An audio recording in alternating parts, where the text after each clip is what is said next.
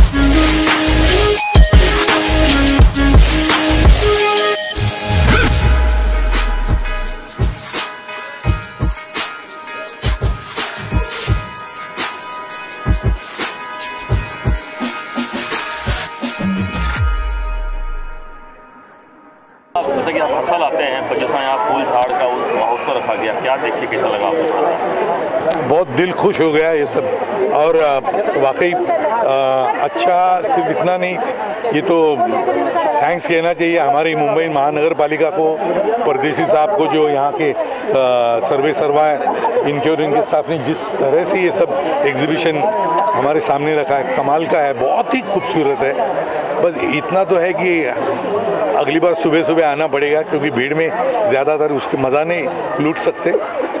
लेकिन सब देखकर बड़ा दिल खुश। पर्यावरण को बचाने के लिए कुछ संदेश देंगे क्योंकि पर्यावरण जिस तरीके से लगातार हाँ हम अगर हम स- हम सब मुंबई में रहने वाले लोग तो छोटे छोटे घरों में रहते हैं ऐसे कोई बंगला नहीं गार्डन वाला बंगला। तो हमारे घर में जितना भी हम रख सकते हैं अच्छा है तुलसी तो होती ही है हमारे हर एक के घर में। और भी कुछ थोड़ा सा जो छाँव के लिए होते हैं वो भी रखोगे तो दिल को सुकून तो मिलता भी है और ऑक्सीजन भी मिलता है तो हम सब मिलके छोटा छोटा अगर एक भी पौधा लगाएँगे तो काफ़ी कुछ फ़र्क पड़ेगा। सर अब जो पेड़ों का पेड़ों का कटान चालू है काफ़ी जगह तो पर्यावरण को उससे नुकसान पहुँच रहा है। तो अधिक से अधिक लोग पेड़ लगाए और पेड़े पेड़ों का कटान रुके तो मैं यही कहता हूँ कि ठीक है प्रगति के लिए पेड़ों को काटना पड़ता है। अगर मान लो दस हज़ार पेड़ काट लिए तो बीस हज़ार पेड़ लगाने की ज़िम्मेदारी भी उतनी कंपलसरी होनी चाहिए। कहीं ना कहीं तो उसको कॉम्पेंसेट करना भी चाहिए ना। खैर अखिल सवाल आपका कोई अपना प्रोजेक्ट चल रहा था यहाँ आने के बाद प्रोजेक्ट की क्या प्रोजेक्ट तो होता है लेकिन कोई बताता नहीं जब तक मैदान में नहीं उतरते ना तब तक। सर साडो साहब एक चूँकि आप एक डीसीपी के तौर पर लोग देखते हैं आपको जानते हैं। मुंबई ट्रैफ़िक पुलिस ने एक अच्छा मुहिम शुरू किया है लोगों के अवेयरनेस के लिए कि अगर आप हॉन्किंग करते। हैं वो वाले तो आपका मैसेज क्या देना चाहेंगे कि लोग हॉन्किंग जो बिल्कुल नहीं करना चाहिए मैं खुद नहीं करता। क्योंकि हर एक को जाना है जब सिग्नल लाल का हरा हो जाएगा तो ऑब्वियसली अपने आप वो निकल जाएँगे। वो थोड़ी वहाँ तंबू गाड़ने के लिए आए हैं। हर एक को जाना है तो पता नहीं क्यों लोगों को लगता है कि हॉर्न बजाने से अ, लाल का हरा हो जाएगा। नहीं होना चाहिए बहुत ही गलत है। एक डीसीपी कैसे मैसेज देंगे सर? नहीं हॉन्किंग मत करो। जैसे ग्रीन होता है जैसे हरा सिग्नल आ जाता है अपने आप सभी के साथ हम भी निकल जाएँगे। गांवकर और जितेंद्र परदेशी साहब ने मुझे इस बार भी बुलाया है और पिछले चार पाँच सालों से मैं लगातार आ रही हूँ। मुझे एक्चुअली मुंबई में रहते हुए पता नहीं था कि ऐसा फ्लावर शो होता है बीएमसी का। लेकिन जितेंद्र जी ने मुझे ये फ्लावर शो दिखाया और हम सब प्रेमी होते हैं ना इसके झाड़ फूल पत्ते मन को बड़ी प्रसन्नता देते हैं। मेरी माँ भी गार्डनिंग का शौक़ रखती हैं। मुझे भी है शौक़ लेकिन इतना समय नहीं मिलता। लेकिन मैं यहाँ सबको बधाई देना चाहती हूँ। ये सब बीएमसी के वर्कर हैं जिन्होंने इसकी शोभा बढ़ाई है। अभी संगीत का भी लुत्फ उठाया आनंद उठाया वो भी बीएमसी के वर्कर हैं ऐसा मुझे पता चला। तो उनका टैलेंट दिखाने के लिए उनको अच्छा व्यासपीठ परदेशी जी ने दिया है। अ, तो मैं और लोगों ने भी अच्छा प्रतिसाद दिया है। आपने देखा होगा कि बीच में आरे का अगर बात करें जो कारसेट लगाने के लिए बहुत सारे पेड़ काटे गए एक मैसेज उसके बाद से शुरू हुआ। लगता है कि पर्यावरण को लिए कुछ मुहिम बड़ी चलनी चाहिए। नहीं, बिल्कुल चलनी चाहिए, क्योंकि मुंबई को कंक्रीट जंगल कहा जाता है। क्योंकि भले आप 20 सौ पेड़ काटेंगे, उसके बदले में 100 पेड़ लगाएँगे, उसमें से वो 100 पेड़ कब बढ़ेंगे, कब बड़े हो जाएँगे और उसमें से कितने मरेंगे, कितने सर्वाइव हो जाएँगे। मतलब 100 के 100 रिप्लेस होना तो डिफ़िकल्ट है ना? तो मुझे ऐसा लगता है कि अभी कार शेड भी चाहिए, ये भी चाहिए, वो भी चाहिए, लेकिन उसके लिए पर्यावरण का बलि नहीं चढ़ाना चाहिए ऐसा मुझे लगता है। उसको कोई बीच का मार्ग, कोई ढूंढना चाहिए, क्योंकि बहुत सारों की भावनाएँ को दुख पहुँचाया एनवायरमेंटलिस्ट हम सब एनवायरमेंटलिस्ट हैं, लेकिन वो एक्टिविस्ट हैं, वो रास्ते पे उतरते हैं बेचारे।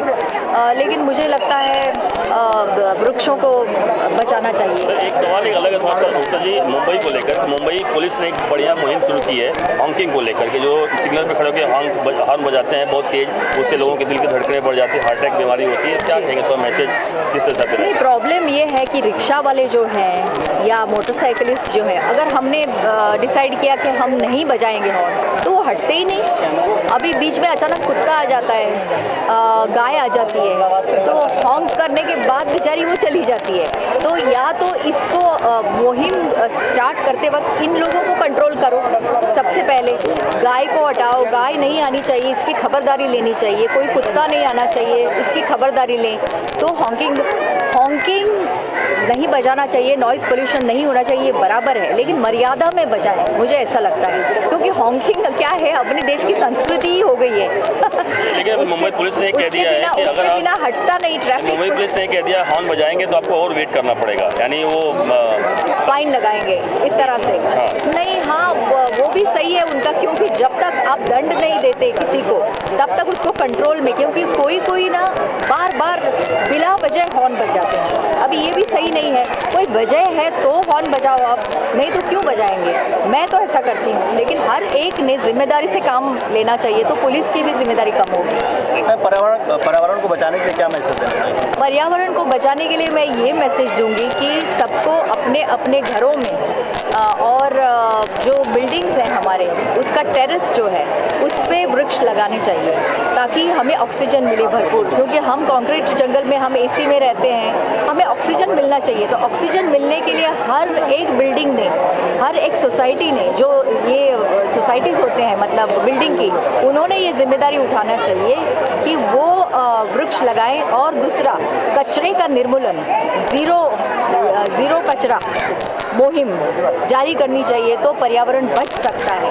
और दूसरा प्लास्टिक ना यूज़ करें। मैं यूज़ नहीं करती हूँ। मैं हर एक को बोलती हूँ कि प्लास्टिक यूज़ मत करो या रीयूज़ करो उसको। जो हमारे घर में प्लास्टिक बैग्स हैं उसको कम से कम मतलब इस्तेमाल करो और जो है उसको रीयूज़ करो। इससे पर्यावरण बच सकता है। क्या चीज़? जागरूकता अभियान जो चलाया है। पर्यावरण को लेकर। आप नहीं चाहते हैं कि और लोग जो चलाएँ उसके लिए क्या मैसेज देना चाहेंगे जिससे लोग भी जाएँ इस तरह से पर्यावरण जो है हमारा और लोगों प्रॉब्लम में है और फिल्मी हस्तियाँ कर रही हैं बहुत सारी फिल्मी हस्तियाँ रास्ते पे उतर के कर रही हैं अपने तरफ़ से प्रयत्न कर रही हैं। लेकिन क्या है प्रयत्न जो है हर एक ने करना चाहिए ताली एक हाथ से नहीं बचती है। तो ऐसा नहीं कि सिर्फ़ बीएमसी का ये जिम्मेदार जिम्मा है। जिम्मा हर किसी का है। हर किसी ने अपना जो है ज़िम्मेदारी अगर उठाई तो मुझे लगता है धीरे और एक दिन में नहीं होने वाला ये सब। इसके ऊपर इतना अन्याय हुआ है पृथ्वी के ऊपर और खास करके बम्बई शहर के ऊपर तो उसको खारिज करने के लिए मुझे लगता है 20 साल लगेंगे या 10 साल लेकिन शुरुआत करनी चाहिए। सरकार से यहाँ पे कुछ प्रदर्शनी की गई सर? पर्यावरण के लिए एक अच्छा मैसेज है। हर साल एक कार्यक्रम होता है। सर आप क्या मैसेज देना चाहेंगे और जो लोग इस प्रदर्शनी को देखने आए हैं और जिन्होंने बनाया है खूबसूरत सजाया है?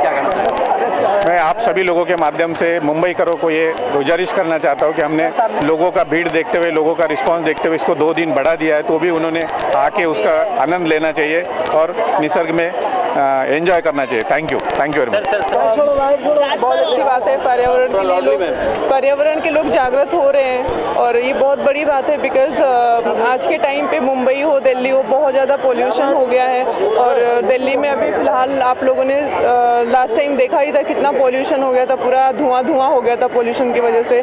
और मुंबई में भी कहीं ऐसा ना हो जाए, बहुत जगह सुनने को मिल रहा था। मैं एक बार किसी ने मुझे बताया कि होर्डिंग लगी हुई थी कहीं पे बैंड्रा में और वो होर्डिंग काली हो गई थी। तो ये बहुत ही बड़ी बात है कि मतलब अब जब होर्डिंग काली पड़ जा रही है तो कितना पॉल्यूशन है, आप समझ लो, एक या दो दिन में। तो ये सारे हम जो सांस ले रहे हैं तो हमें अंदर ही, कहीं ना कहीं जा रहा है और आज आज देख रहे हो आप लोगों वायरस जो फैला हुआ है, ये सब पॉल्यूशन और ये सब चीज़ें कहीं ना कहीं आपके शरीर पर इफ़ेक्ट कर रही है।